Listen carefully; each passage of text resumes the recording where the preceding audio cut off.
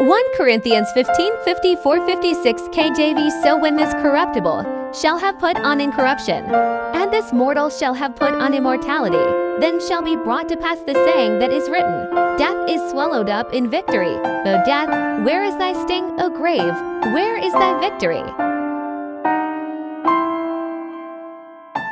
The sting of death is sin, and the strength of sin is the law. Yesterday, we discussed about you being a spirit man with a soul encased in an earthly body. Additionally, your spirit does not and never gets tired, neither will it ever die. And when man dies, the cord of connection linking the spirit to the body is severed, cut off. That is when the body begins to decay and bury. So, technically, no man dies. You only transit from the physical earthly realm into the terrestrial body arena. 1 Corinthians 15 57 50 EKJV But thanks be to God, which giveth us the victory through our Lord Jesus Christ. Therefore,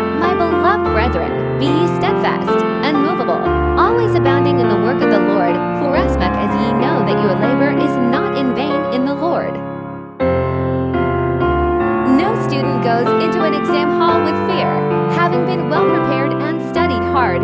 Neither does a Christian having prayed very well concerning the outcome of a challenge, nurse any more fear about it. Both will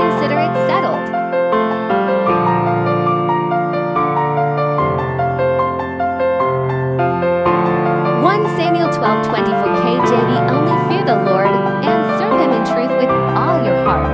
For consider how great things he hath done for you. Ecclesiastes 1213 KJV let us hear the conclusion of the whole matter.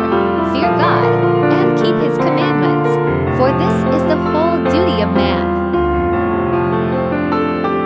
Now you know the conclusion of your entire life's journey, fear God.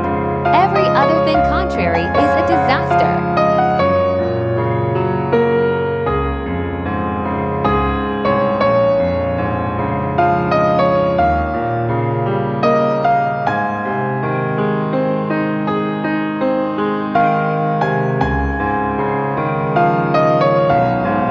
Do have a fruitful week. Dot e dot o dot diadetum. Kindly press the middle paragraph twice. It will stop for you to read. After reading, press once. It will continue to the next page and repeat same till you finish reading. Thanks.